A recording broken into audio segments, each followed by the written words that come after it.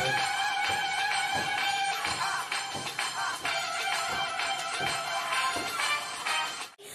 is your Geetika Sahanita. To please like, comment and share. Don't forget to subscribe my channel Geetika Sahanita.